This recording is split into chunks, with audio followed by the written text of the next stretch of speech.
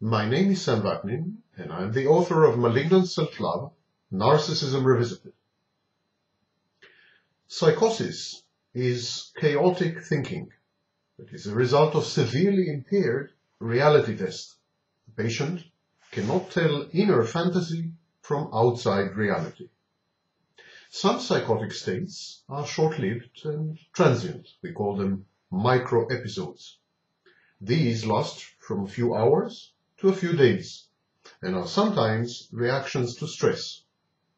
Psychotic micro-episodes are common in certain personality disorders, most notably in borderline and schizotypal personality disorders, but also in narcissistic personality disorder. Persi persistent psychosis are a fixture of the patient's mental life and manifest for months or years. These are not micro-episodes. These are full-fledged diseases. Psychotics are fully aware of events and people out there. They cannot, however, separate data and experiences originating in the outside world from information generated by internal mental processes. The inside and the outside blur into one. They confuse the external universe with their inner emotions, cognitions, preconceptions, fears, expectations, and representations. Similarly, patients suffering from narcissistic personality disorder, and to a lesser extent antisocial and histrionic personality disorders, fail to grasp other people as full-fledged entities. They regard even their nearest and dearest is kind of cardboard cutouts, two-dimensional representations, introjects, or symbols. They treat people as instruments of gratification, functional automata, or extensions of themselves. To them, people are functions, mere functions, nothing else. Consequently, both psychotics and people with personality disorders have a distorted view of reality, and they are not rational.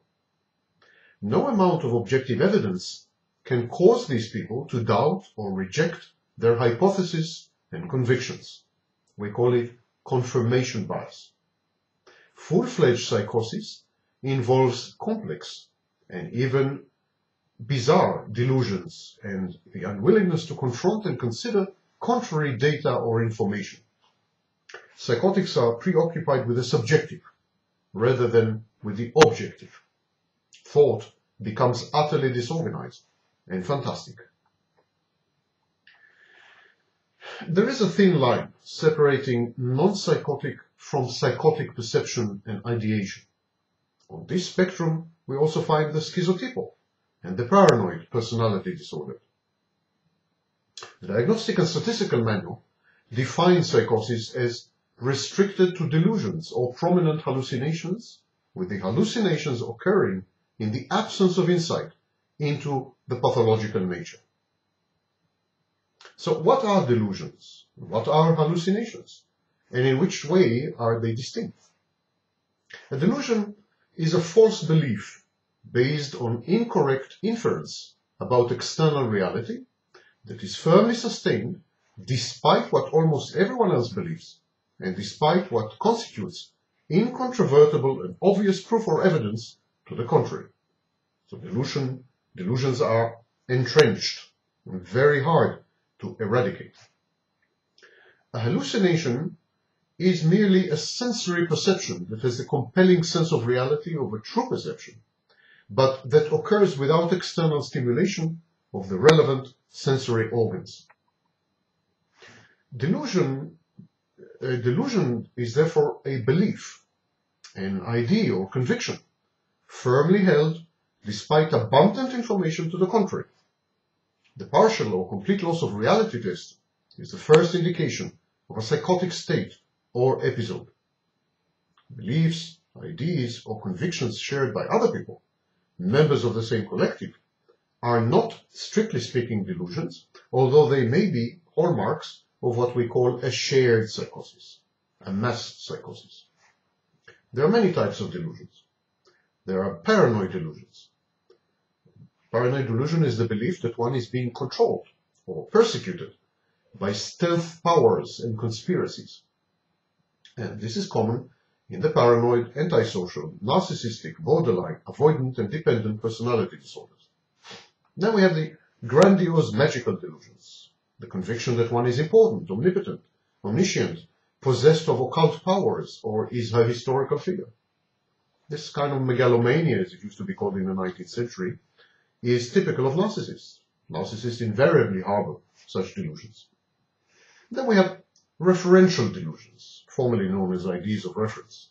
And that is the belief that external objective events carry hidden or coded messages or that one is the subject of discussion, dissection, derision, or opprobrium, even by total strangers. And this is common in the avoidant, schizoid, schizotypal, narcissistic and borderline personality disorders.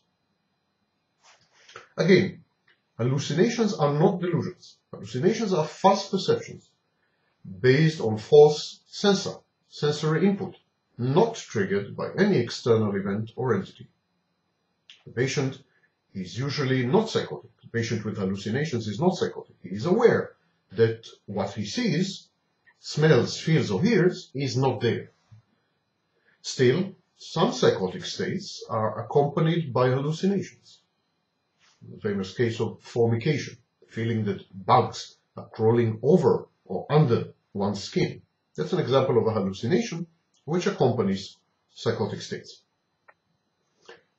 Similarly, there are a few classes of hallucinations. We have auditory hallucinations, the false perception of voices and sounds, such as buzzing, humming, radio transmissions, whispering, motor noises, and so on. We have gustatory uh, hallucinations, the false perception of taste. We have olfactory hallucinations, the false perception of smells and scents, burning flesh, candles.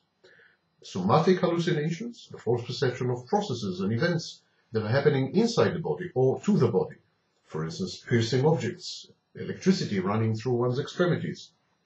Somatic hallucinations are usually supported by an appropriate and relevant delusional content. We have tactile hallucinations, the false sensation of being touched or crawled upon, or that events and processes are taking place under one's skin. This is usually supported by an appropriate and relevant delusional content as well. Then we have visual hallucinations. They're the most common. The false perception of objects, people, or events in broad daylight or in, in, in an illuminated environment with eyes wide open. Hypnagogic and hypnopompic hallucinations are images, trains of events experienced while falling asleep or when waking up. No hallucinations, they, these are not hallucinations in the strict sense of the word, but they are close. Hallucinations are common in schizophrenia, affective disorders, and mental health disorders with organic, organic origins. Hallucinations are also common in drug and alcohol withdrawal and among substance abusers, but they are not common among people with personality disorders.